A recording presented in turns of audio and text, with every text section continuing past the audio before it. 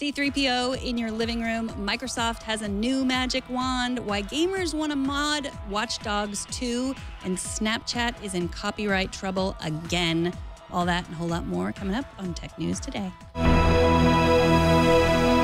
This is Twit. Bandwidth for Tech News Today is provided by CacheFly at C-A-C-H-E-F-L-Y dot com.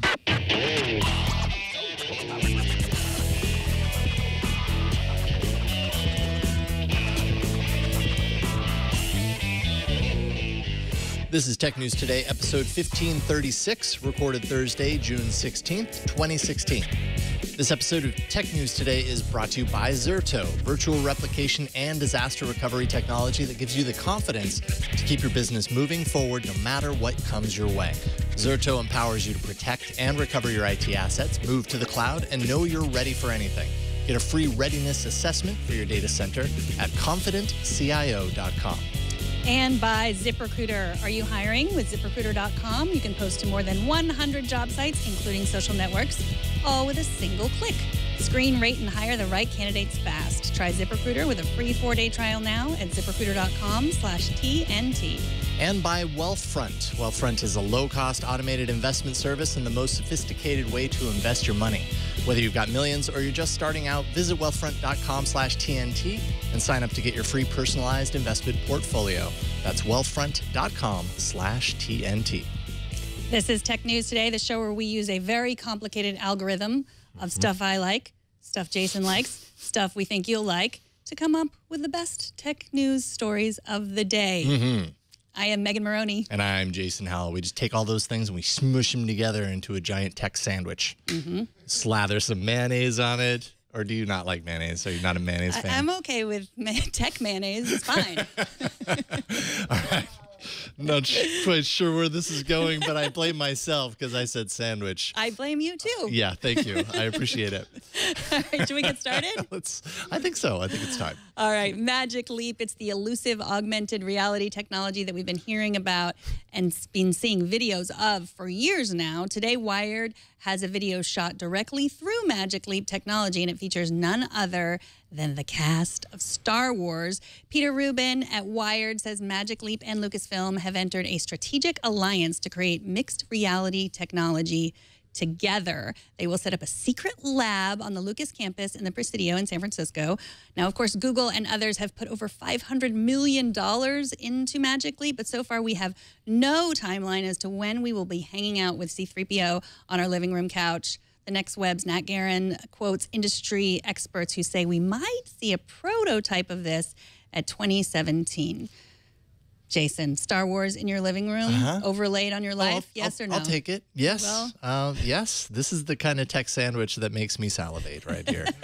um, I, you know what? What's really impressive about this, what what continues to impress me about this, though I have questions, is kind of like when you're watching the video and you see. Um, you see R2D2 roll up to the table, knows that the table is there, knows to plug into the table, and then the thing, you know, the hologram is cast on top of it. And I think that just kind of illustrates the power of what what we think Magic Leap is going to be able to do. But really, all we know about Magic Leap is that it's AR and these little videos that you get that all say the same thing down at the bottom, which is that what you are seeing is is actually from the device. There's no you know pre-rendered stuff, no uh, digital you know magic underneath. It's pretty much direct from the device.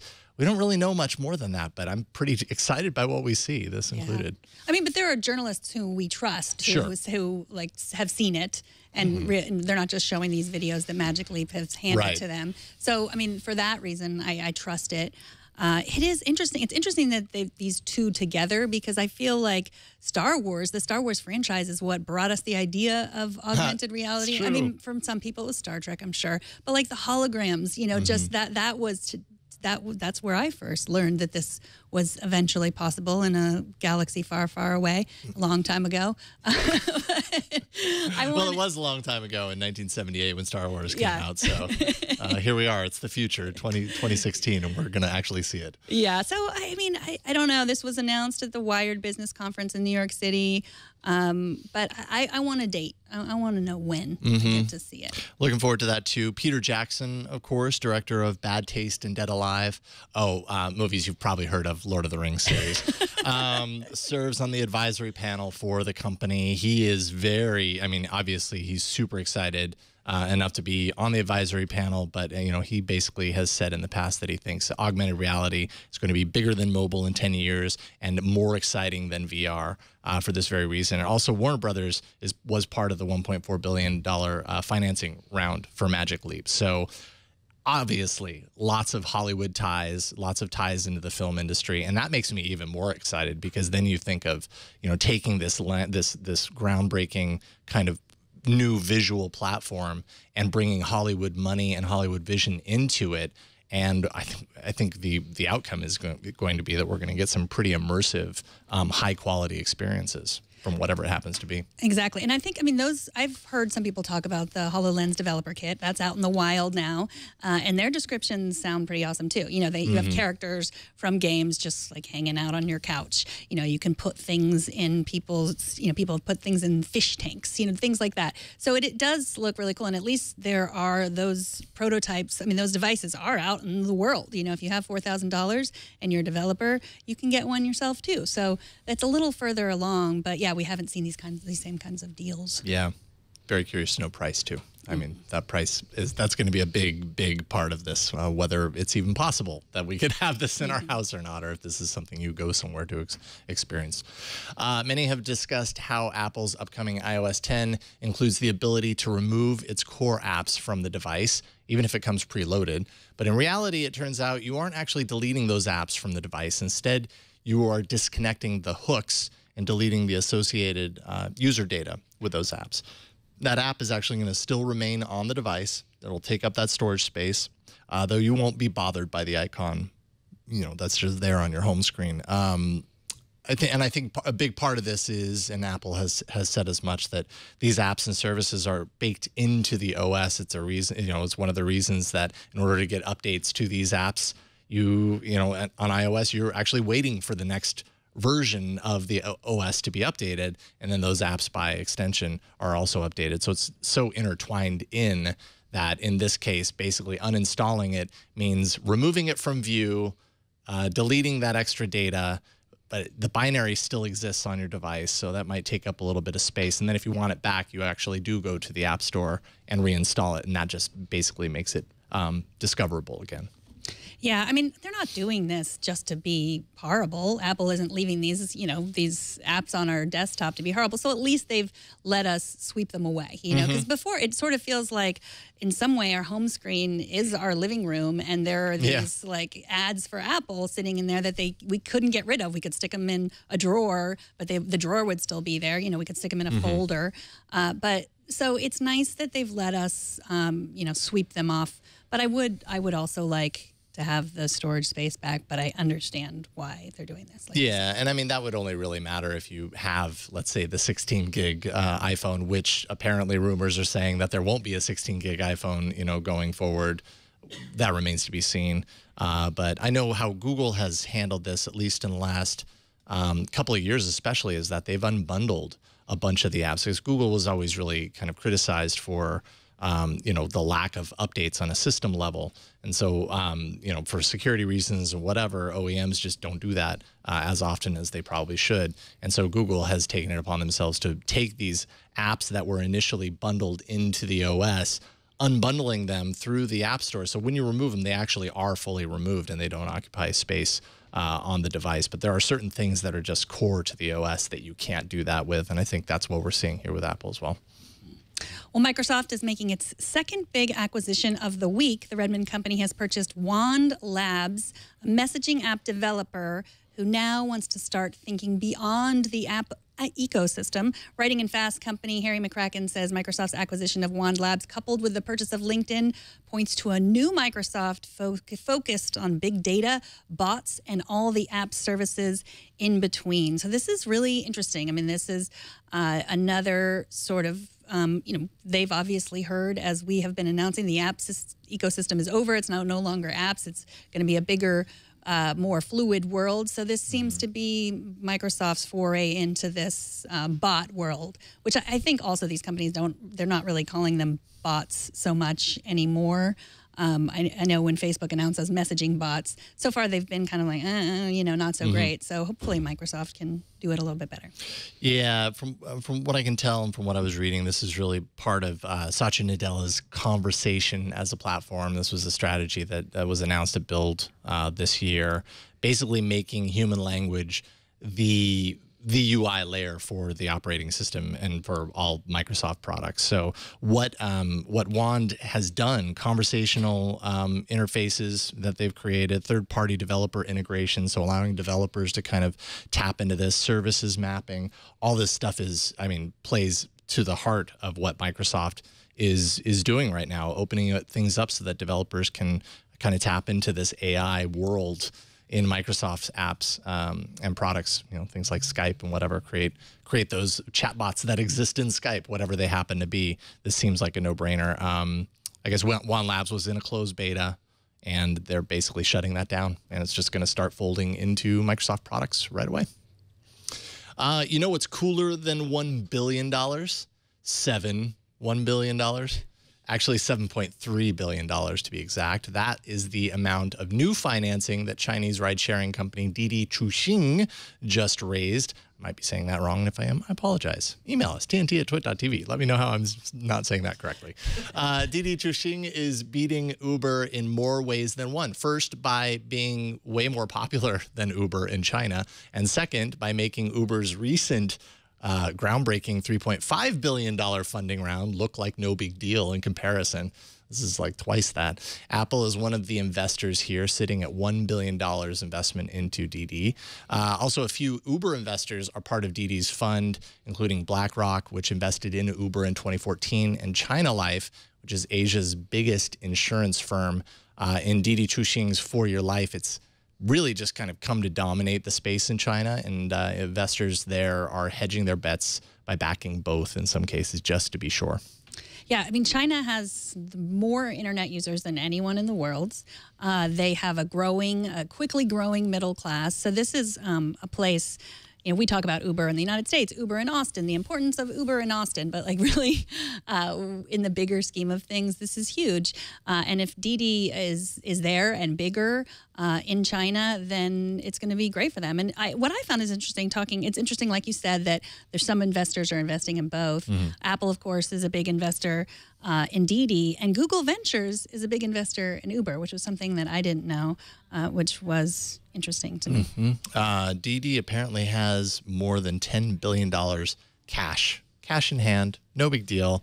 Uh, has a quite a war chest. So, you know, Uber, it's interesting. It's, it's very interesting to see Uber's kind of, um, kind of relationship with the whole Chinese market, right? They're aiming to be dominant in 12 months time. They, they want 12 months from now to be more dominant than Didi. They have a lot to overcome as far as that's concerned. Uh, China is one of Uber's top four cities and most important market, but I mean, Didi eclipses, you know, Uber's Uber's existence in China. So, uh, you know, the kind of, I think what what that points to is that the $10 billion that Didi has kind of overshadows a lot of the um, kind of incentives that Uber can give its drivers and really empowers Didi to just have a lot of muscle to to hit back and basically command their uh, I don't know their in their authority or whatever you want to call it in in China and make sure that uh, you know nothing moves there. Um, they're profitable and profitable in 200 of 400 cities in China, and they're only at around 1.1 percent of the entire market right now. They think over the next two years, this is like a 200 billion dollar market. Uh, so there's a lot of money to be made. That tells you exactly why Uber and Didi are vying so heavily for for China. Right, and transportation is a much easier market to get into in China than when you're dealing with anything that has to do with the media mm. or anything like that, which is you know so many companies have run up against uh, so many problems in China. So this is sort sure. of like an easier in for them. Yep. Uh, all right, coming up, some gamers are upset that the focal character of Watch Dogs 2 is a black hacktivist. We're going to talk a little bit about that, but before we get there, let's take a minute to thank Zerto, the sponsor of this episode. Zerto is IT asset protection, it's disaster recovery, and it's cloud continuity for confident CIOs. Confidence can make or break businesses uh, in today's IT world. It can mean the difference between hesitation and action, success or irrelevance. Zerto's cloud based business continuity solutions arm today's CIOs and IT pros with the confidence to know their systems are ready for anything. With Zerto, you can recover from downtime, you can test new technology, and move to the cloud in a matter of clicks while maintaining business continuity. Zerto's virtual replication technology gives you the power to simplify your migrations. You can switch to new infrastructure faster and get quicker ROI in a matter of clicks. You want to know your data is protected, and you will here with breakthrough hypervisor based software that puts the power of continuous replication at your fingertips. You can migrate to the cloud with no disruptions with enterprise class software that empowers you to seamlessly and safely move virtualized workloads between public, private, and hybrid clouds. Uh, get complete, comprehensive data protection in one smart solution for BCDR across storage and hypervisors. You can recover from any disruption with checkpoints every few seconds. You can protect and recover files, virtual machines, and applications uh, from any point in time. All sorts of stuff here to dig into. See for yourself how Zerto simplifies your data replication and disaster recovery. Plus, get a free readiness assessment uh, for your data center at confidentcio.com. That's confidentcio.com. We thank Zerto for their support. Renard from Chicago sent us an email asking if we could talk about an article in Fusion about Ubisoft's game Watch Dogs 2. I reached out to the author, journalist Charles Pulliam Moore, and I'm happy to welcome him to the show to talk about it. Welcome, Charles. Hey, Megan. How are you today? I'm doing great. Thanks for coming on. So, the game trailer came out last week, uh, and immediately people online had a lot to say about the new main character, Marcus Holloway. What's yeah. Marcus's backstory?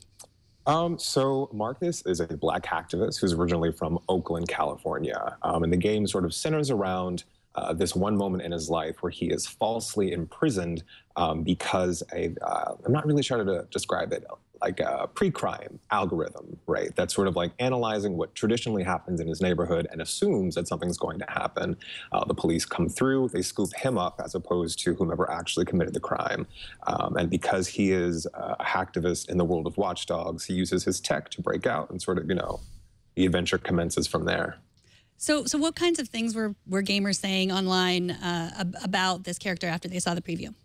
Um, the sort of kind of like a standard issue problematic things that tend to pop up whenever you hear about black people in tech, right? Like, oh, like why would a black person be living in San Francisco? Even though Marcus is from, um, he's from Oakland. The game takes place mostly um, in San Fran, and unlike the original Watch Dogs, which was set in like a Chicago that was kind of unrecognizable, I say this as someone who used to live in Chicago. This San Francisco is very clearly based on the San Francisco that we are all sort of familiar with, right? Um, so you've got people living like very bohemian lifestyles. You've got people living in poverty, and then you've got this um, this upper class of like high class tech workers, um, of which Marcus is one of them. And people were like, well, that's just not realistic. Um, there was one particular um, thread in Steam about how, you know, oh, this is another instance of social justice warriors trying to force their agenda down our throats. And it was all just kind of like, uh, okay, all right.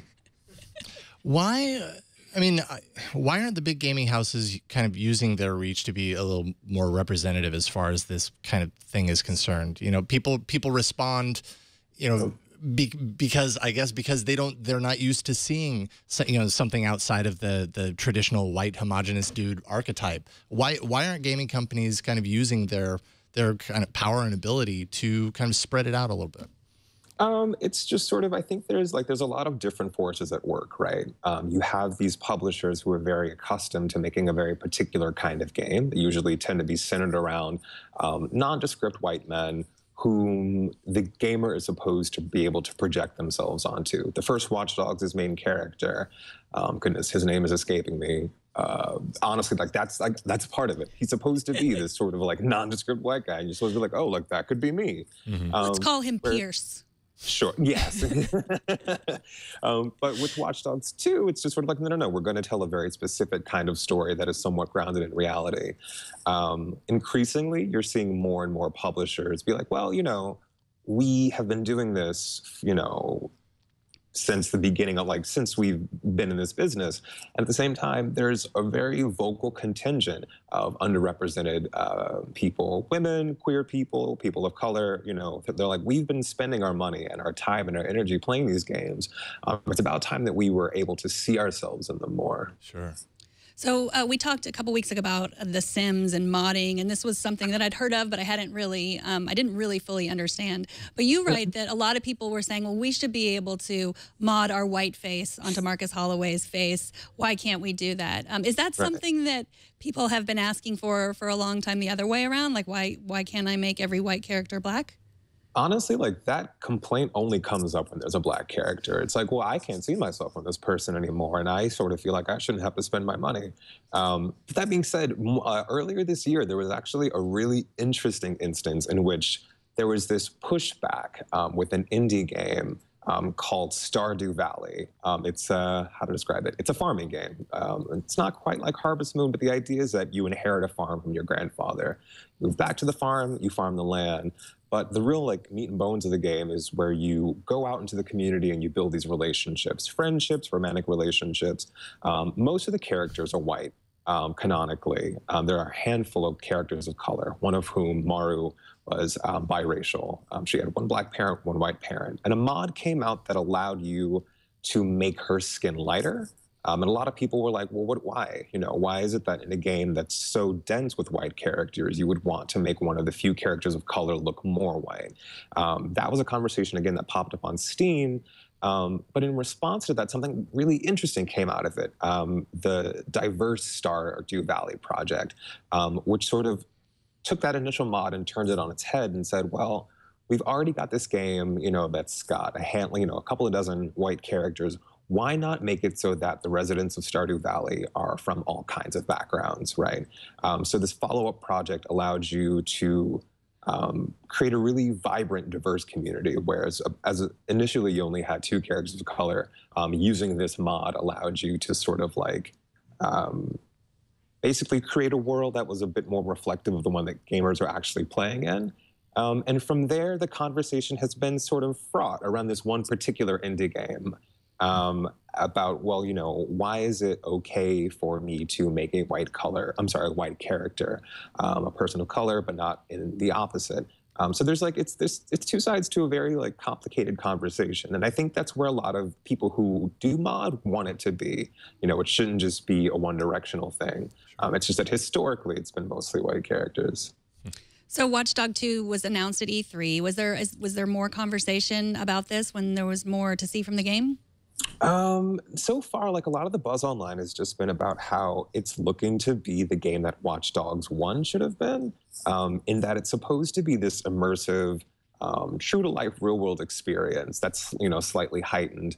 Um, the way that a lot of people are describing Watch Dogs 2, it's like, oh, it's like Assassin's Creed, but in San Francisco, um, where parkour makes a lot more sense.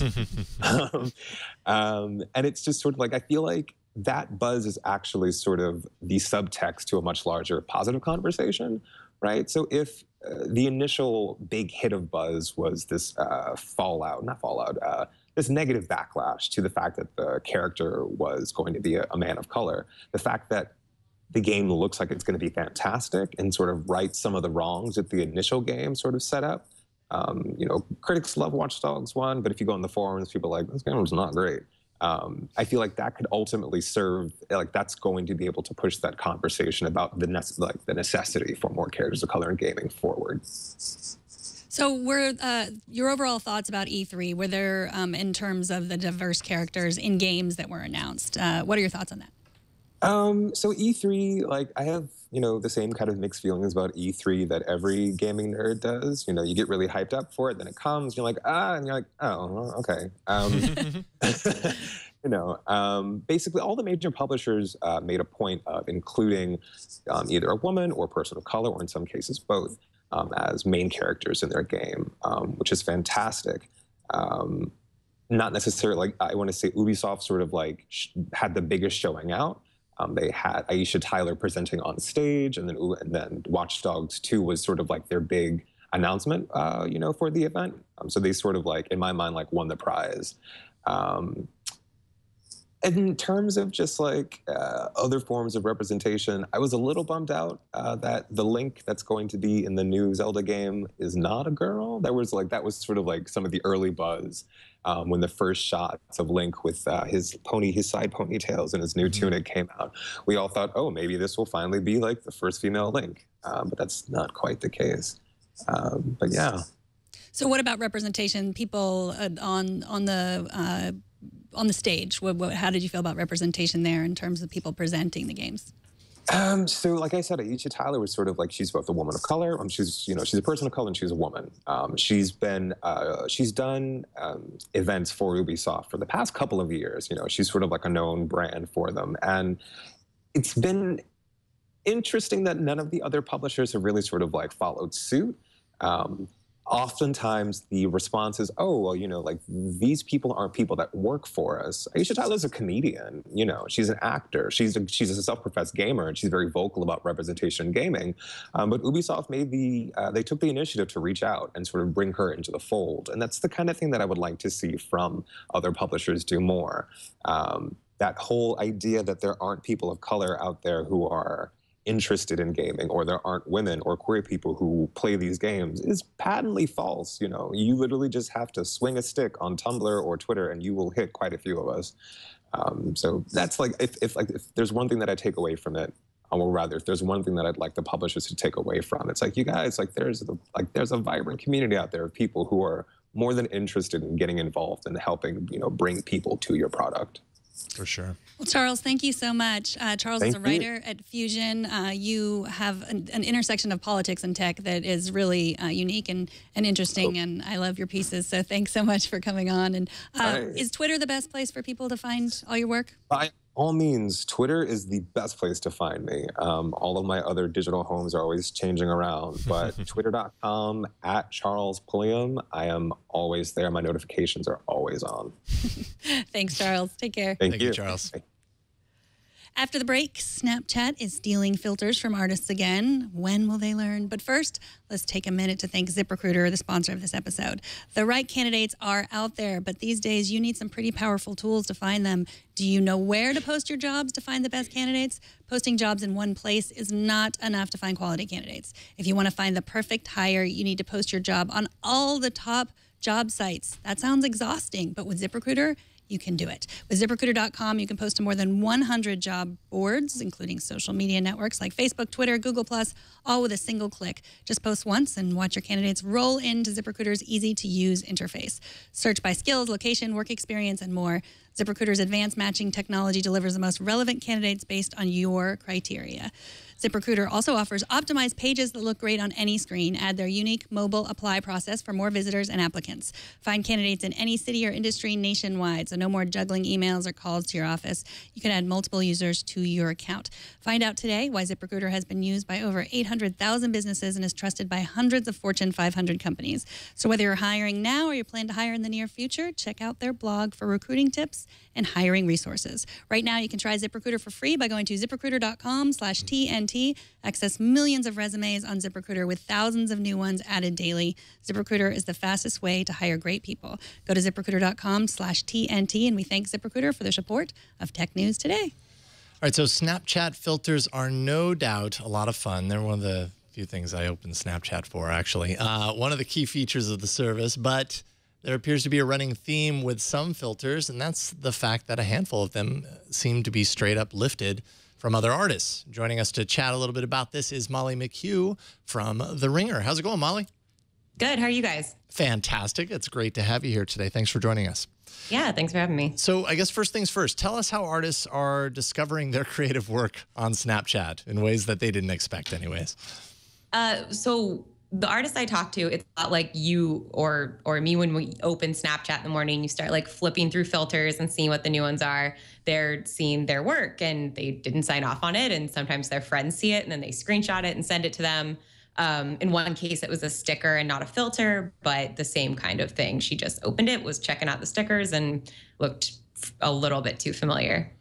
So, how um, I guess I, I, get a little baffled by this because this isn't the first time that we've heard about this. It was, I think, in May we heard about this around a different artist oh man, who was the artist? I, I have the link in here, but I can't can't find the artist. But anyways, I mean, there's no doubt when you put these things side by side, you take the original artwork that it's based off of, and then you take the filter. Like, there's enough striking similarities. And actually, if you scroll down here, you'll you'll start to see them. Where I mean, it's just it's pretty obvious that there is there is some sort of lift going on here. How does Snapchat kind of rectify the, this repeatedly? Because I know they keep saying like, "Oh man, this really should not be happening. We promise it won't happen again," and then it happens again. How how are they doing this?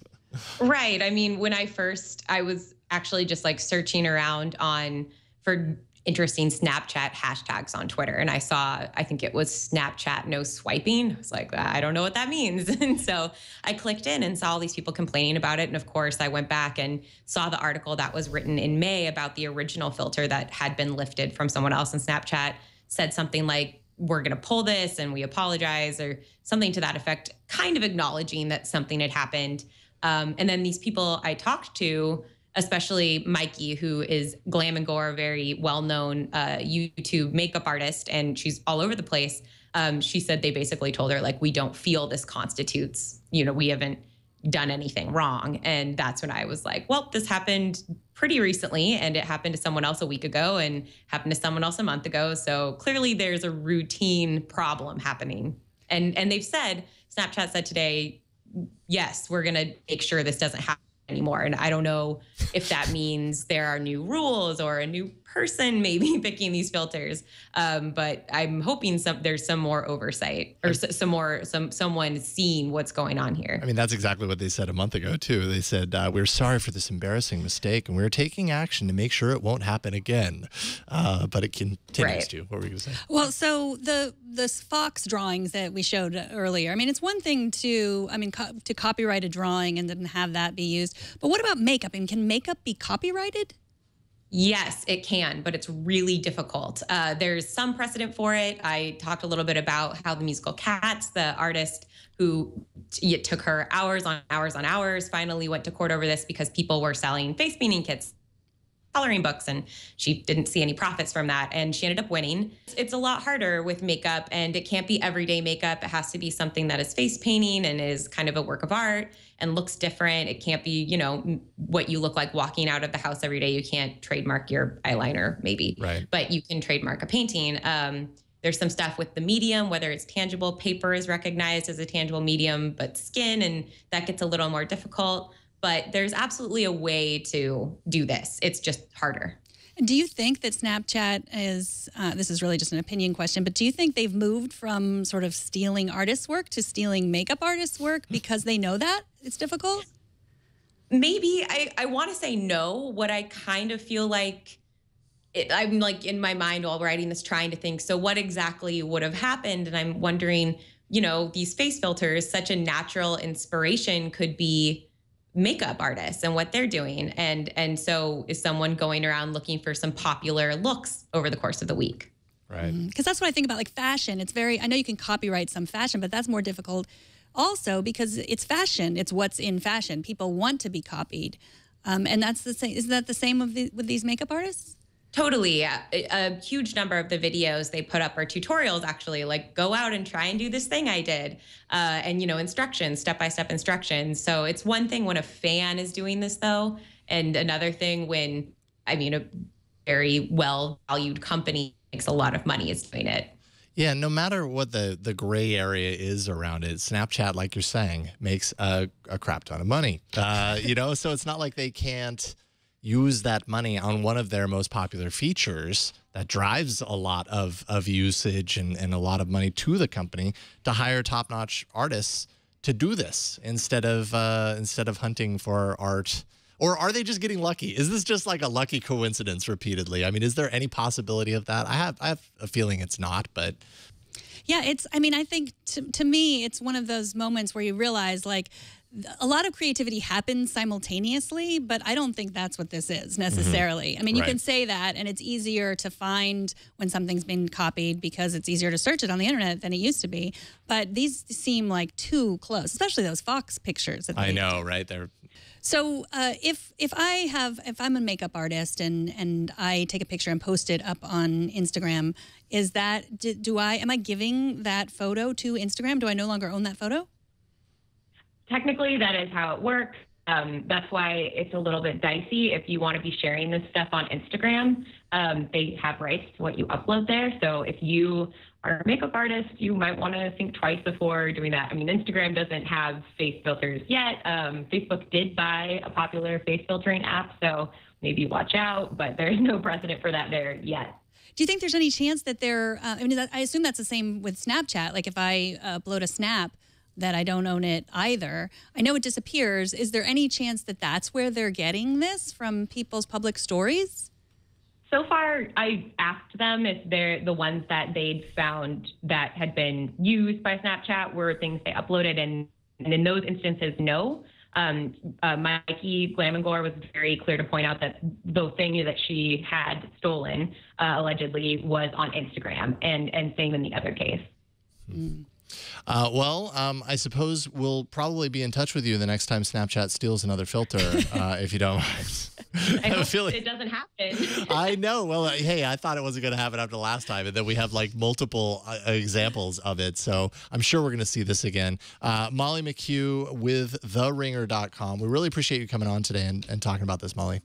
Absolutely. Thanks, guys. And uh, where, where can people follow your work online? Uh, I'm at at I am Molly McHugh and on the Ringer, uh, which is on this theringer.com. Fantastic. All right. Thanks again, Molly. Take care, Molly. Thanks, we'll talk guys. to you soon. Bye. TNT's fan of the day is Gary Brooks at TRSPT Fire. True. Spitfire. Spitfire. Spit, TR Pit, spit, Pit Spitfire. We're trying to figure it out, Gary. Sorry. Uh, he says, Twit helps me stay awake all night Third shift can be rough. Gary is an electrical controls engineer. Show us how you watch or listen to TNT. Just record a video or take a picture of yourself or your setup. Post it on Instagram, Google Plus, Twitter, or Facebook, and use the hashtag How I Watch TNT, and we will find it. All right, let's see if I can do this, Megan. Coming up, we may finally have a name for the next version of Android. But before we get to that, let's take a minute to thank Wealthfront the sponsor of this episode. You invest for the long term, for you, for your family's financial health, but trying to do it yourself can be really complex and time consuming, especially if you want to do it the right way.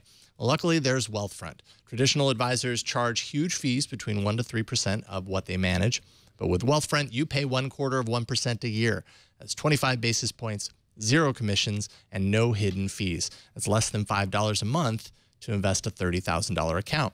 There are no additional charges for any of Wealthfront's services. With Wealthfront's new portfolio review, you can see if your portfolio is at risk, how diversified your investments are, uh, what you're losing to fees, even minimize your taxes. You can get started investing today with as little as $500. It only takes a few minutes to sign up.